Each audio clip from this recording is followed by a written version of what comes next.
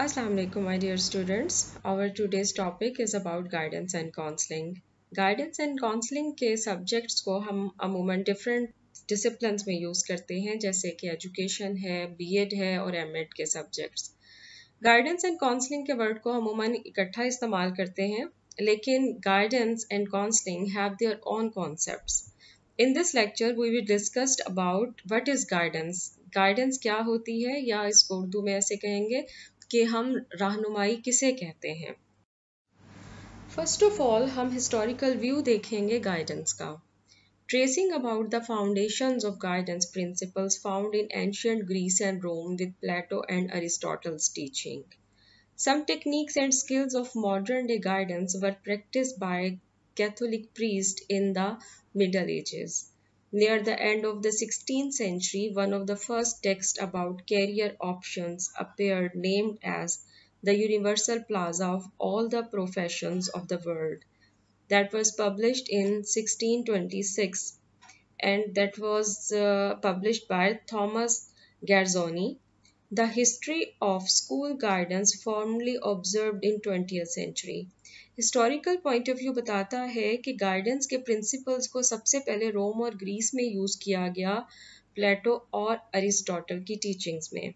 उसके बाद Catholic priest ने भी इसको प्रैक्टिस किया और उसको लोगों की रहनुमाई के लिए यूज़ किया। उसके अलावा 1626 में हम देखते हैं कि एक बुक पब्लिश्ड होती है with the name of universal plaza of all the professions of the world उसके बाद स्कूल में गार्डन्स को यूज़ किया गया in twenty century further origin of guidance was found in nineteen zero five where Frank Parsons work और give services directly for young people who struggling to find out work for their living Frank Parsons is the father of guidance in the last century Parsons worked with young people in helping them make decisions about their vocations. He established Boston Vocational Bureau in 1908 and published a book, Choosing a Vocation, in 1909. Here we can see that the father of guidance was declared Frank Parson, who gave directly services for the young people for their future. So here we can see कि guidance का word जो है, वो रहनुमाई इस्तेमाल होती है किसी भी इंसान की हेल्प आउट करने में for their future further guidance is a broad concept it provide direction at initial level it deals with macro concept it related with future advises यहाँ पर हम क्या देखते हैं कि रहनुमाई की ज़रूरत हमें वहाँ पड़ती है जहाँ हमने किसी भी चीज़ के लिए कोई फैसला करना होता है। फ्यूचर के लिए या हमने कोई किसी इनिशियल लेवल के लिए, कोई डिसीज़न के लिए, किसी भी इनिशियल वे में फ़र्स्ट स्टेप उठाने से पहले हमें जिस चीज़ की ज़रूरत होती है वो है रहनुमाई या हम जिसको कहते हैं guidance macro means broader concept है। उसके बाद हम इसको माइक्रो लेवल में या छोटे लेवल्स में डिवाइड करते हैं। उसका ताल्लुक बनता है काउंसलिंग से, जिसको हम अपने नेक्स्ट लेक्चर में डिस्कस करें now guidance according to Crow and Crow have opinion that guidance is not a direction it is not the imposition of one's point of view upon an other it is not making decision for an individual it is not carrying the burden of an others life Guidance is assistance made available by competent counselors to an individual of any age to help him direct his own point of view, make his own decisions and carry his own burden. यहाँ पर crow and crow ने अपना opinion दिया है कि guidance को हम oppose नहीं करते किसी पर या हम उसको किसी पर ज़बरदस्ती नहीं समझा सकते हेयर हमने उसको सिर्फ़ और सिर्फ़ डायरेक्शन प्रोवाइड करनी होती है किसी भी इंडिविजुअल को कि वो प्रॉपर तरीके से डिसीज़न कर सके। कोई भी कर सकता है, वालदेन भी कर सकते हैं इस भी कर सकते हैं, इसमें दोस्त भी कर सकते हैं।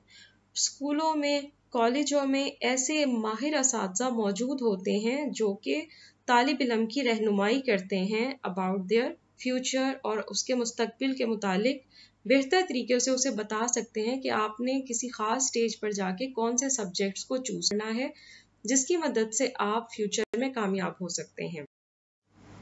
नाउ गाइडेंस के मुतालिक डिफरेंट डेफिनेशंस है। Guidance is a process through which an individual is able to solve their problems and pursue a path suited to their abilities and aspirations according to J M Brewer. Guidance क्या है कि एक ऐसा path provide करती है, एक ऐसा तरीक़ेकार है जिसमें हम किसी भी इंडिविजुअल की रहनुमाई करते हैं अकॉर्डिंग टू हिज एबिलिटीज़ उसके अंदर जो सलाहियतें हैं, उसको देखते हुए, परखते हुए हम उसकी रहनुमाई करते हैं guidance is a continuous process of helping the individual development in the maximum of their capacity in the direction most beneficial to himself and to society. Stops and Volquist. यहाँ पर हम देखते हैं कि कुछ चीज़ें ऐसी होती हैं जिसका इंसान को इदराक नहीं होता यहाँ पर गाइडेंस हमें हेल्प आउट करती है, वो कैपेसिटी प्रोवाइड करती है, वो वे आउट प्रोवाइड करती है, जो कि हमारे लिए बेहतर होता है और उसकी मदद से हम सोसाइटी में बेहतर तरीके से सरवाइव कर सकते हैं further educational point of view के मुताबिक guidance is an educational service design to help student make more effective use of schools training program हर इंसान को हर बात का पता नहीं होता, ज़रूरी नहीं है। यहाँ पर हमें कुछ चीज़ों के लिए फर्दर डिसीज़न के लिए जो हम मशवरा लेते हैं, उसको हम गाइडेंस कहते हैं। और अगर हम किसी माहिर से लेंगे तो डेफिनेटली वो हमारे बेहतर होगा और हेल्पफुल होगा। एलिमेंट्स क्या हैं? गाइडेंस को जब हम प्रैक्टिकल लाइफ में यूज़ करते हैं या किसी भी की भी रहनुमाई के लिए यूज़ करते हैं तो उसके एलिमेंट्स क्या होंगे? First it focused on the individual and not the problem guidance discover the abilities of an individual first of all उसकी सलाहियत को देखना। अकॉर्डिंग टू हिज एबिलिटीज आप उसको गाइड कर सकते हैं। Guidance is based upon the assets and limitations of an individual. Guidance provides the ways of self-development and self-direction. Guidance helps the individual to play wisely. Guidance assists in the adjustment of situations. Guidance assists to achieve success and happiness. Guidance provides the maximum positive thinking in multiple misconceptions of human life. अगर हमें guidance के लिए एक proper इंसान, एक ऐसा माहिर इंसान मिल जाए जो हमें जानता है। अमूमन उसमें वालदेन हमें बेहतर तौर पर जानते हैं, हमारे इस बेहतर तौर पर जानते हैं। जिन्हें अंदाज़ा होता है कि हमारे अंदर कौन सी स्किल्स हैं, जिसके हिसाब से हम अपने फ्यूचर डिसीजंस ले सकते हैं, जो कि हम, हमें हेल्प आउट प्रोवाइड करती हैं सेल्फ डिवेलपमेंट में एज वेल एज और सेल्फ डायरेक्शन में। जो कि हमें एडजस्ट कर सकें, हमें कामयाब कर सकें और अकॉर्डिंग टू द लिमिटेशंस भी हैं यहाँ पर। कुछ फील्ड्स इंसान को बहुत अच्छी लग रही होती हैं और वो चाहता है कि उस फ़ील्ड में जाए। लेकिन समटाइम्स जो माहिर हैं, जो कि हमें गाइड कर रहे होते हैं, वो हमें जानते हैं देखकर कि हमारे अंदर हो सकता है उसके हिसाब से वो एप्टीट्यूड ही मौजूद ना हो। या वो एबिलिटी उस तरह से ना हो तो वो according to our abilities and aptitude हमें फ़ील्ड सजेस्ट करते हैं। That is called guidance principles of guidance यहाँ पर रहनुमाई के कुछ असूल बयान किए गए हैं। That they are basic principles related to individual first of all the dignity of the individual is supreme each individual is different from every other individual the primary concern of guidance is the individual. The attitudes and personal perceptions of the individuals are varies. The individual has the innate ability to learn. The individual needs a continuous guidance, childhood to adulthood. Each individual need information, personalized assistance best given by competent professional personnel. यहाँ पर guidance के असूल जो बताए गए हैं, उनका सारा का सारा फोकस जो है वो किस पर है? इंडिविजुअल पर। क्योंकि गाइडेंस प्रोवाइड करती है रहनुमाई किसके लिए? किसी भी इंसान के लिए। उसके, खुद के लिए। पर्सनली उसने किस तरीके से मूव ऑन करना है? उसकी सोच क्या है? उसकी एबिलिटीज़ क्या हैं? और गाइडेंस हमें ज़िंदगी में चाइल्डहुड टू अडल्टहुड मतलब ज़िंदगी में किसी भी लेवल पर जहाँ हमने कोई भी फ्यूचर डिसीज़न लेना है ज़रूरी होती है। उसके लिए ज़रूरी है कि हम किसी कॉम्पिटेंट इंसान से मशवरा लें, जो कि हमें जानता हो, हमारी स्किल्स को जानता हो और हमारी एबिलिटीज़ के मुतालिक उसे किसी हद तक मालूम हो। बाकी तो इंसान को खुद अंदाज़ा होता है कि उसने किस फ़ील्ड में बेहतर तौर पे परफॉर्म कर सकता है। समटाइम्स कुछ मौाक़े ऐसे होते हैं जहाँ पर इंसान को डिसीज़न के लिए किसी ना किसी गाइडेंस की ज़रूरत होती है and it will work if you will get it from a competent person. Characteristics of guidance. There are some characteristics. Number one, it helps every individual to help to recognize his innate resources, to set goals, to make plans, to work out his own problems. It is a continuous process. It is assistance to the individual in the process of development, to develop the capacity for self guidance and self improvement. It enables the individual to take decisions to grow independently. Guidance का ताल्लुक overall development से है of the individual ये उसके goal set करवाती है, उसके problems को आइडेंटिफाई करती है, उसको कॉन्टीन्यूस प्रोसेस की तरफ़ लेके आती है कि कोई भी डिसीज़न जो आपने करना है, उसकी फर्दर डेवलपमेंट वो इंसान खुद चेक कर सके। सेल्फ इम्प्रूवमेंट उसके अंदर लेके आती है और फर्दर वो इंडिपेंडेंटली किसी भी डिसीज़न को लेकर उसको गो थ्रू कर सकता है। तो ये सारी की सारी स्किल्स जो हैं, वो गाइडेंस क्रिएट करती है या डेवलप करवाती है या आइडेंटिफाई करती है किसी भी इंडिविजुअल में। Need for guidance there are various factors involve where guidance needed as the changing family patterns rapid changes in trends conflicts in values attitudes and morals economic factors, changing role of work, new pressures and expectations to school, college and universities, problems of young people in changing world order अब यहाँ पर बताया गया है कि guidance की हमें ज़रूरत कहाँ पड़ती है। ज़िंदगी के किसी भी मोड़ पर हमें गाइडेंस की ज़रूरत होती है।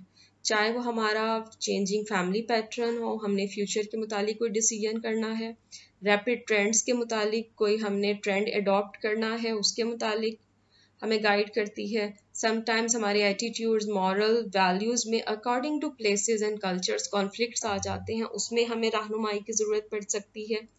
इकनॉमिकल फैक्टर में हमें ज़रूरत पड़ती है। रोल वर्क रोल हमें होता है कि हमने कौन सा वोकेशन सेलेक्ट करना है, किस फ़ील्ड में जाना है, उसके मुतालिक हम गाइडेंस ले सकते हैं। प्रेशर्स होते हैं, कुछ तवक़ात होती हैं स्कूल कॉलेज और यूनिवर्सिटीज़ की, उसमें एडजस्टमेंट के लिए हमें गाइडेंस की ज़रूरत पड़ती है कि for example F S C F A का रिज़ल्ट आता है तो हमने फ़र्दर कौन सी फ़ील्ड चूज़ करनी है? ब्रॉडर वे में हमें ये हेल्प आउट प्रोवाइड करती है।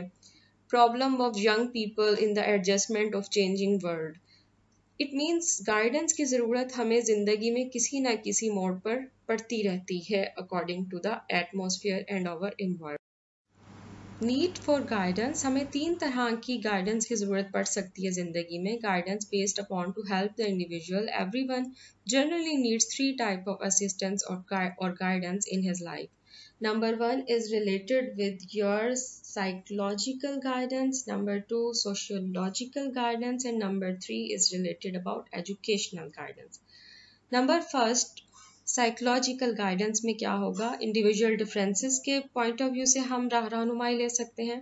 Guidance needs at different stages of development development of health personality making the most of available opportunities second need of guidance is related to sociological guidance जहाँ पर हमें सोशल एडजस्टमेंट के लिए जिस रहनुमाई की ज़रूरत पड़ती है। For example guidance is need for proper use of human energy guide and changes in religious and moral beliefs, guidance for and extension of democracy, lack of guidance at home. Internal और external adjustments के लिए चाहे वो हमारा घर हो चाहे वो हमारा वर्क प्लेस हो चाहे सोसाइटी हो उसमें एडजस्टमेंट के लिए हमें अगर रहनुमाई की ज़रूरत पड़ती है तो that is called social guidance Third need of guidance is very important that is related with educational guidance. This is a broader field but here we will discuss some points like it helps students in proper choice of courses, to help in proper choice of careers, to minimize wastage of time, to help exceptional children. यहाँ पर educational guidance एक broader field है जो कि student को रहनुमाई provide करती है कि उन्होंने फ्यूचर में कौन से कोर्सेज उनके लिए ठीक रहेंगे फ्यूचर में कौन सा कैरियर उनको सूट करता है according to their abilities and skills उसके अलावा वो कौन सा ऐसा काम कर सकते हैं जिसमें वो ज़्यादा से ज़्यादा परफॉर्म कर सकें और उनका टाइम भी ज़ाया ना हो?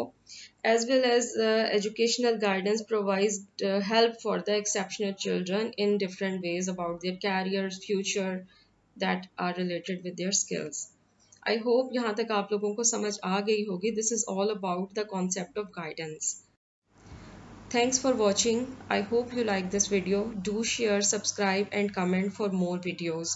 Stay happy and be blessed. Take care. Allah hafiz